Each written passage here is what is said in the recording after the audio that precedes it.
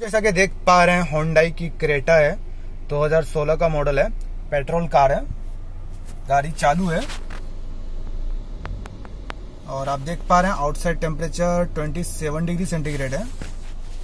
और हमने एसी चालू रखा है, जैसा कि आप देख पा रहे हैं ब्लोड भी चालू है। कूलिंग टेम्परेचर आप देख लीजिए 6.6 पे आ गया अभी। 5.9 पे आ गया। कूलिंग प्रॉपर हो रहा है इसका। ये रही आउटसाइड एयर का प्रॉपर चल रहा है।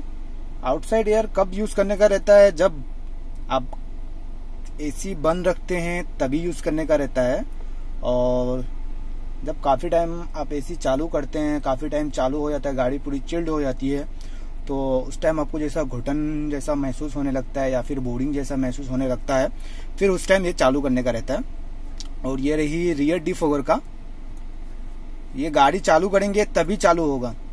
गाड़ी बंद रखेंगे तो चालू नहीं होगा। और ये रही फ्रंट डिफोगर का प्रॉपर चल रहा है।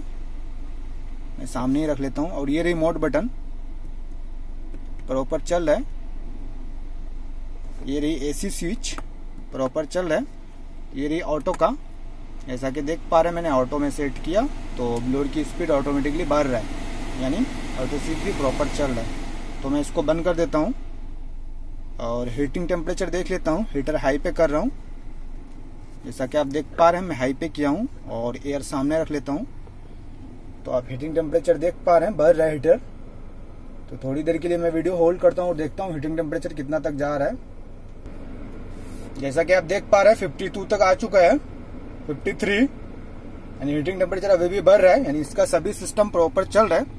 तो हेलो दोस्तों, आप मेरे चैनल में अगर नए हैं तो प्लीज़ लाइक कमेंट सब्सक्राइब करना ना भूले। Please please please please